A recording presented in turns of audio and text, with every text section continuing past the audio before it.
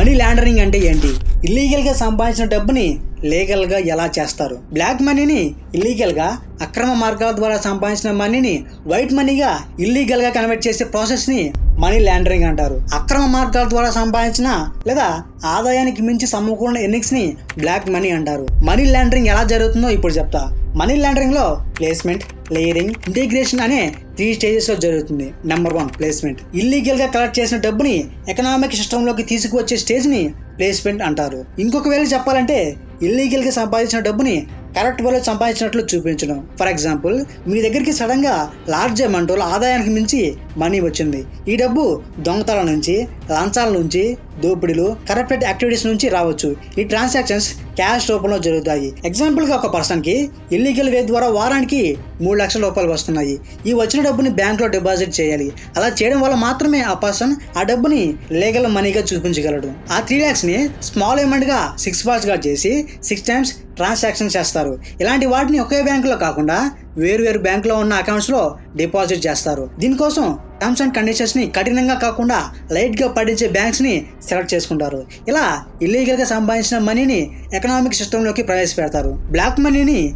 Economic సిస్టమ్లోకి ఎలా పంపిస్తారు? విదేశాల్లో ఉండే షెల్ కంపెనీస్కి లేదా అకౌంట్స్కి కొంత మనీ పంపిస్తారు. ట్యాక్స్ కట్టకుండా ఉండే వాళ్ళు స్వర్గధామాలుగా ఉన్న కంట్రీస్లో షెల్ కంపెనీస్లో అకౌంట్ ఓపెన్ చేస్తారు. ఈ అకౌంట్స్లోకి మనీ డిపాజిట్ చేస్తారు. కొన్ని వ్యాపారాల్లో జరిగే ట్రాన్సాక్షన్స్లో బ్లాక్ మనీని వైట్ మనీతో కలిపేస్తారు. ఎగ్జాంపుల్గా ట్రాన్సాక్షన్స్ ఎక్కువగా జరిగే రియల్ ఎస్టేట్ క్యాష్ను క్లబ్స్ బార్స్ లాంటి బిజినెస్లో చేస్తారు. ఇన్వాయిస్ ఫ్రాడ్ బ్లాక్ మనీని ట్రాన్స్ఫర్ చేసేందుకు ఇన్వాయిస్ ఫ్రాడ్ చాలా ఎక్కువగా జరుగుతాయి. ఒక ఆబ్జెక్ట్ లేదా సర్వీస్ ఇన్వాయిస్ వాల్యూని ఎక్కువ లేదా తక్కువ చేసి చూపిస్తారు. వస్తువులను అసలు పేర్లతో కాకుండా వేరే పేర్లతో ట్రాన్స్పోర్టింగ్ చేస్తారు. లగ్జరీ వస్తువుల్ని తక్కువ వాల్యూ ఉన్న వస్తువులుగా చూపించడం ప్రొడక్ట్స్ని అలాగే సర్వీసెస్ని కొనకుండానే కొన్నట్లుగా చూపించడం ఇన్వాయిస్ ఫ్రాడ్స్ కిందకే వస్తుంది. స్మర్ఫింగ్. ఒక పెద్ద మొత్తాన్ని చిన్న చిన్న అమౌంట్స్గా సపరేట్ చేసి ఎవరికి డౌట్ రాకుండా ట్రాన్సాక్షన్ చేస్తారు. ఈ స్మాల్ అమౌంట్స్ని వేరియస్ బ్యాంక్ అకౌంట్స్లోకి పంపిస్తారు. అయితే దీనిని వేరు వ్యక్తులకు వేరు వేరు అకౌంట్స్లోకి పంపిస్తారు.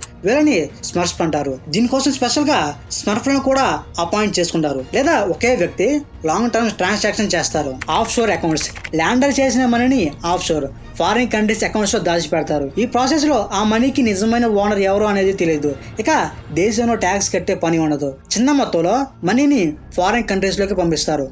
కస్టమ్స్ నిర్దేశించిన లిమిట్కి కొంచెం తక్కువగా స్మాల్ అమౌంట్స్లో మనీని క్యాష్ రూపంలో ఫారిన్ కంట్రీస్కి పంపిస్తారు. ఆ మనీని ఫారిన్ బ్యాంక్స్ అకౌంట్స్లో డిపాజిట్ చేస్తారు. అక్కడ నుంచి మళ్ళీ స్వదేశీ బ్యాంక్లోకి పంపిస్తారు. ప్రపంచ నాయకులు politicians billionaire secret innings financial transactions బయట పెట్టిన పండోరో పేపర్స్ ఈ కేటగిరీలోకి వస్తాయి. పదవిలో ఉన్న అలాగే మాజీ నాయకులు సుమారు ముప్పై ఐదు మందితో పాటు మూడు వందల మంది గవర్నమెంట్ ఆఫీసర్స్ ఈ ట్రాన్సాక్షన్ జరిపినట్లు పండోర్ పేపర్స్ ద్వారా తేలింది. జోర్డాన్ కింగ్ రహస్యంగా డెబ్బై మిలియన్స్ పౌండ్స్ ఆస్తిని కూడబెట్టినట్లు తేలింది.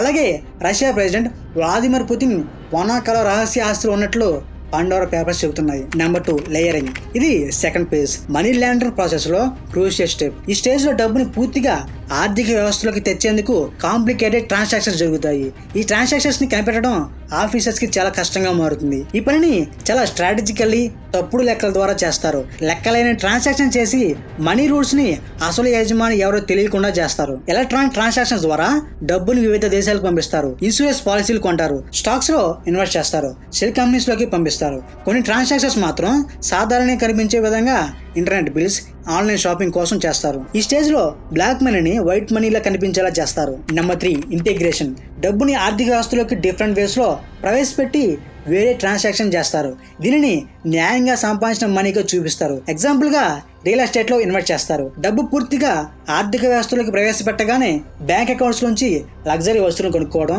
ఫారెన్ ట్రిప్ చేయడం లాంటివి చేస్తారు. దీనికోసం డైరెక్ట్గా బ్యాంక్ నుంచి మనీ విత్డ్రా చేస్తారు లేదా ఏటీఎం నుంచి విత్డ్రా చేస్తారు. డబ్బు ఎక్కడి నుంచి వచ్చిందని ఎక్స్ప్లెయిన్ చేసేందుకు ఇంటిగ్రేషన్ చాలా జాగ్రత్తగా చేస్తారు. తిరిగి తిరిగి ఆ మనీ అంతా వేరే అకౌంట్స్ వ్యక్తుల చుట్టూ తిరిగి అసలైన ఓనర్ దగ్గరికి చేరుతుంది. ఈ స్టేజ్లో బ్లాక్ మనీకి వైట్ మనీకి మధ్య తేడా కనిపెట్టడం చాలా కష్టంగా ఉంటుంది. ఈ డబ్బుని ఎలా కావాలంటే అలా యూజ్ చేసుకోవచ్చు. ఇక ఎవరు తమ పట్టుకోలేరని ధీమాతో ల్యాండర్ ఇల్లీగల్గా సంపాదించిన మనీని విచ్చలవిడిగా ఖర్చు పెడతాడు. ఇల్లీగల్గా సంపాదించిన బ్లాక్ మనీ అంతా వైట్ మనీగా మారిపోతుంది. ఈ స్టేజ్ని ఇంటిగ్రేషన్ అంటారు. ఈ డబ్బుని ప్రాపర్టీ మార్కెట్ లగ్జరీ కార్స్ కళాఖండాలు జ్యువెలరీ లేదా కాస్ట్లీ ఐటమ్స్ కొనడానికి యూజ్ చేస్తారు. ఇప్పుడు మనీ లాండరింగ్ ఎప్పటి నుంచి జరుగుతుందో చెప్తాను యాక్చువల్గా మనీ లాండరింగ్ రెండు వేల సంవత్సరాల క్రితం నుంచి జరుగుతుంది అని ఇండియా ఫొరెన్సిక్స్ వెబ్సైట్లో ఉంది. చైనాలో బిజినెస్ మ్యాన్స్ డబ్బుని రకరకాల వ్యాపారాలు కాంప్లికేటెడ్ ట్రాన్సాక్షన్స్ ద్వారా మేనేజ్ చేసి సంపాదనను గవర్నమెంట్ ఆఫీసర్ దగ్గర దాచిపెట్టేవారని చెబుతారు. కానీ ఇటాలియన్ మాఫియా అల్కపోని అకౌంటెంట్ ఇల్లీగల్గా సంపాదించిన మనీకి లెక్కలు చెప్పలేకపోవడంతో ఈ పదం పాపులర్ అయింది. అమెరికాలో నైన్టీన్ ట్వంటీస్లో థర్టీస్లో మనీ ట్రాన్సాక్షన్ మాత్రమే అప్రూవ్ చేసే లాండ్రీలను మాఫియా మేనేజ్ చేసేది. రాబరీస్ సెక్స్ రాకెట్స్ జోదర్ లాంటి ఆర్గనైజ్ క్రైమ్స్ ద్వారా సంపాదించిన డబ్బుని లీగల్ చేసేందుకు ఈ లాండ్రీలను సెంటర్ చేసుకుని ట్రాన్సాక్షన్ చేసేవాళ్ళు. కాపౌండ్ మాఫియాకు లాండ్రీల ద్వారా బ్లాక్ మనీని వైట్ మనీగా మార్చడానికి వాడడం వల్ల ఈ ప్రాసెస్కి మనీ లాండరింగ్ అని పేరు వచ్చిందని చెప్తారు. నైన్ బై లెవెన్ ఇన్సిడెంట్ అమెరికాలో సెప్టెంబర్ రెండు వేల ఇరవై ఒకటిలో జరిగిన ట్విన్ టవర్స్ పేలుడు చేయడానికి హైజాకర్స్కి అవసరమైన డబ్బు ఎక్కడి నుంచి వచ్చింది? ఈ ఇన్సిడెంట్లో అల్ఖైదాకు నాలుగు లక్షల నుంచి ఐదు లక్షల డాలర్స్ ఖర్చు అయినట్లు అమెరికన్ ఆఫీసర్స్ ఎస్టిమేషన్ వేశారు. ఇందులో అప్రాక్సిమేట్లీ మూడు లక్షల డాలర్స్ హైజాకర్స్ అకౌంట్స్లోకి ట్రాన్స్ఫర్ అయ్యాయి. దీనికి సంబంధించిన ట్రాన్సాక్షన్స్ ఎలా జరిగాయి? US national commission on terrorist attacks ఇచ్చిన రిపోర్ట్ ప్రకారం అల్ఖైదా మెంబర్స్ మనీని సేవ్ చేయడం ట్రాన్స్ఫర్ చేయడం కోసం అమెరికన్ బ్యాంక్స్లను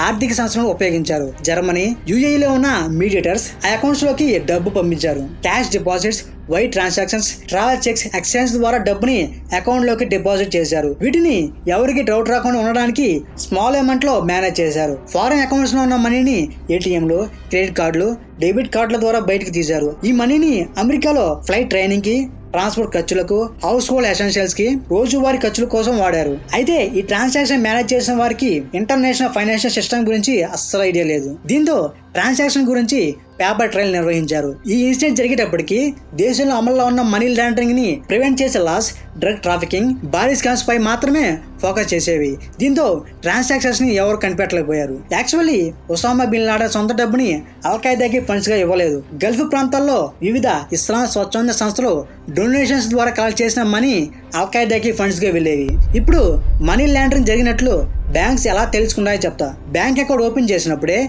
యావరేజ్ ఇన్కమ్ కేటగిరీలోకి అకౌంట్ని క్లాసిఫై చేస్తారు. ఫిక్స్డ్ లిమిట్ని క్రాస్ చేసి అకౌంట్లోకి మనీ చేరినప్పుడు బ్యాంకులు ట్రాన్సాక్షన్స్ని supervise transaction monitoring section automate ట్రిగ్గర్కి వెళ్తుంది. ఈ సెక్షన్ ఫండ్స్ ఎక్కడి నుంచి వచ్చాయి ఎక్కడికి వెళ్తున్నాయి అనే ఇన్ఫర్మేషన్ని తమకు అవైలబుల్గా ఉన్న డివైస్ల ద్వారా రివ్యూ చేస్తుంది. ఈ ట్రాన్సాక్షన్లో అవకతవలు ఉన్నట్లు డౌట్ వస్తే అకౌంట్ని బ్లాక్ చేయడం లేదా ఆ అకౌంట్ డీటెయిల్స్ని గవర్నమెంట్ ఎకనామిక్ అఫెన్స్ ఇన్వెస్టిగేషన్ డిపార్ట్మెంట్కి హ్యాండ్ ఓవర్ చేస్తారు. ఇండియాలో అయితే ఆ అకౌంట్ డీటెయిల్స్ని ఫైనాన్షియల్ ఇంటెలిజెన్స్ యూనిట్కి ఇస్తారు. చాలా రకాల క్రిమినల్ యాక్టివిటీస్ని తెలుసుకునేందుకు లీగల్ సిస్టమ్స్ ఆర్థిక వ్యవస్థలు అందించే ఇన్ఫర్మేషన్ పై డిపెండ్ అవుతాయి. ఇప్పుడు మనీ లాండరింగ్లో నేరం రుజువైతే శిక్ష ఏంటో చెప్తాం. ఇండియాలో మనీ లాండరింగ్ చట్టం రెండు వేల ఇరవై రెండు ఫాలో అయ్యి మనీ లాండరింగ్ క్రైమ్కి మూడు నుంచి ఏడు సంవత్సరాల జైలు శిక్ష అలాగే ఐదు లక్షల వరకు ఫైన్ వేస్తారు. ఒకవేళ మనీ లాండరింగ్తో పాటు డ్రగ్స్ అక్రమ రవాణా చేసినట్లు కూడా రుజువైతే పది సంవత్సరాల జైలు శిక్ష వేసే ఛాన్స్ ఉంటుంది.